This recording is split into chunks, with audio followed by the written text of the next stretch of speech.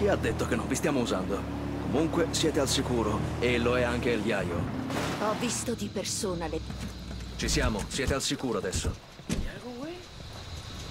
Hola.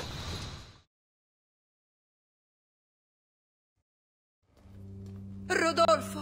Mi Rosita, ¿estás bien? Sì, mi vida. Papà, in che guaio ci hai trascinato, Ti ho vecchio? appena tolto dai guai, sai? Non aspettarti che ci creda.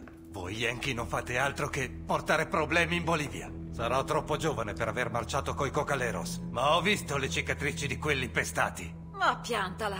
Basta con queste stronzate anti-americane. Non siamo il nemico. Ma non siete certo amici. Calma, dai. Ho fatto patti con molti diavoli nella mia vita. E l'ho sempre fatto per proteggere la mia famiglia, per il bene della mia gente, per il bene dei Cocaleros. Adesso ho fatto un patto con te, agente Bauman. So che me ne pentirò, ma per ora ci permetterà di sopravvivere.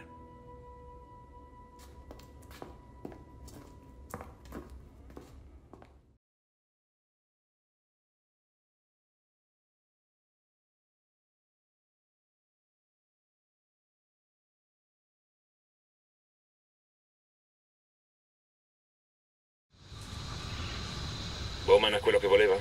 Non ne è contento nessuno, ma sembra di sì. Ingrati. Lo sanno che gli abbiamo salvato la vita, vero? Io so solo che il cartello farà fatica a produrre cocaina senza il Iaio. Il re... Non si sfamano gli affamati senza cibo, non si curano i malati senza medicine, non si soddisfa una domanda senza prodotto. Con la produzione di cocaina in ginocchio, la nostra fetta di mercato diminuiva a vista d'occhio. Abbiamo aumentato i prezzi, una soluzione temporanea.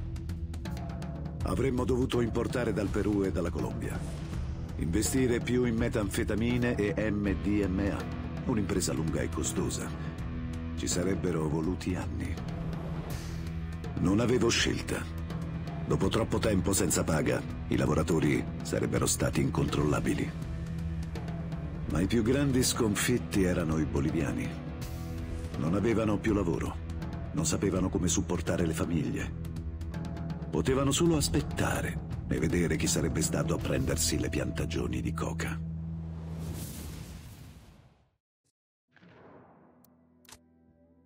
Sto non è affar mio. Ricevuto.